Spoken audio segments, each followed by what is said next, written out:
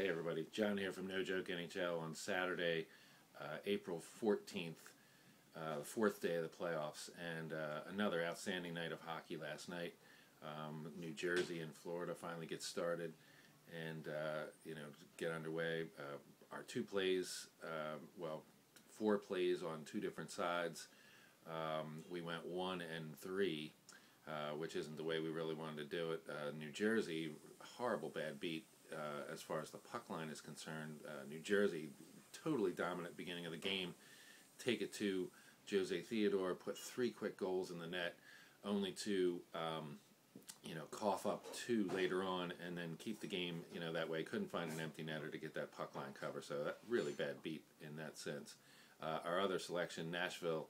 Um, involved early, putting a lot of pressure on Howard as as I predicted they would, but Howard stood his ground, um, and uh, it was actually the Red Wings that were able to get uh, a couple goals on the board. Nashville puts one in, make it interesting, and within a minute uh, later, uh, the, the, Wings put one put them up three one, which uh, was their final margin. Nashville was able to put uh, Shea Weber was able to put one in late to make it interesting, see if they could force it to overtime. But the the puck line play there, minus one and a half, was uh, ne- ne- never never to be had. And uh, you know, like I said, we had a slight chance with the money line with the late comeback by Nashville. So uh, that series is tied one one. New Jersey did hold on three two to go up one nothing in their series. Um, Pittsburgh Penguins. I really don't know what you're doing, but you know they, they, they act like they're playing in overtime. They act like the first score is the only score important. Uh, again, race out to a you know big lead uh, on Philadelphia, only to have Philadelphia storm back, and storm back they did eight to five. So no defense in this series, no goaltending whatsoever in this series. So I'm not sure what to make of this uh, either way. Uh, you know, Pittsburgh, you're obviously uh, extremely unhappy. You lost two on your home ice. Um, but Philadelphia, you know, you can't be too ecstatic, although you're outscoring them. But I mean, Bryzgalov has given up now nine goals in two games, or I'm sorry, eight, eight, eight goals in two games. Uh, you know, which means he's not quite as bad as Marc Andre Fleury, who has given up uh, 12 goals in two games. So, um, so defense out the window here. Uh, I'm, I'm, I'm definitely starting to change my tune. Uh, Todd Fuhrman, uh, one of the one of the managers in the sports book at Caesars Las Vegas, uh, tweeted last night saying that you know I, I, don't know how people can consider Pittsburgh a championship caliber team uh, with this lack of defense, and frankly, I have to agree with them.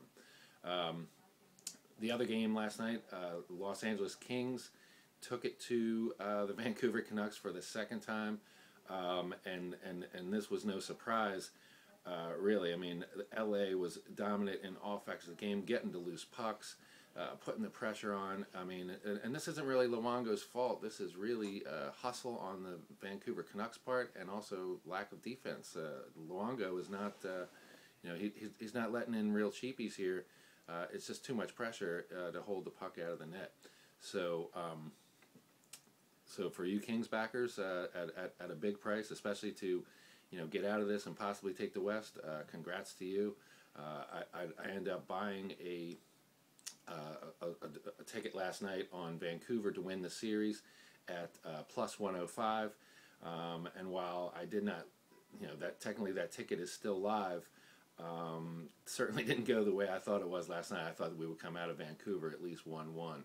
So definitely keeping an eye on that. I also added another play um, on uh, Philadelphia and uh, Pittsburgh to go under six, uh, a line of six on the total, almost unheard of in the playoffs. Um, and so I so I took a, a, play on under six, only to uh, have them exceed that by seven goals. So they doubled up on me. So uh, obviously not a good play last night. However, definitely formful play. And uh, just a little word about totals here. Um, the over has now gone uh, out of um, 11 total games played. The over has won five times. Uh, the under has come in just one time, and we have five pushes. Most of these games are totaled at five, uh, with the exception of um, well, Boston and Capitals in the first game was five and a half, as well as Flyers Pittsburgh, and then last night, of course, Flyers Pittsburgh uh, lined at six. But uh, you know, some key information there. This is really how it holds up Uh, most times, if you are playing with a total of five, it is going to go over uh, and or push, land right on the five rather than win. So if you're playing unders in this playoff at under five, uh, you're you're you're you're digging your own grave. Uh, you know, statistically, like I said, my research over the past couple years, uh, even Stanley Cup playoffs for the last seven years, um, the under comes in or, or games where you know it comes under five uh, is is only like thirty percent of the time. So you have a thirty percent chance of winning. You can tack on about a twenty five percent chance uh, of pushing the five, and then uh, about about half of that, you know, forty five to fifty percent of the games go over. So over clearly is the play. Um, and if you notice too, they're lining a lot of the games at five with heavy juice to the over. Uh, so the books really are, uh, are really are the winners here on totals. So uh, really, really, really sharpen your opinions on totals, and uh, you, you, know just just buyer beware because totals are very hard, especially in these uh, Stanley Cup playoffs. So for today, uh, we have Capitals Boston in the matinee and uh, I'm going to stay with my Capitals play. I have them for the series at plus 180. Currently, after the first game lost, they're now plus 330. So I'm going to buy back a little at uh, plus 330. I'm going to take a half a unit on that, and I'm going to play them at plus 165 today.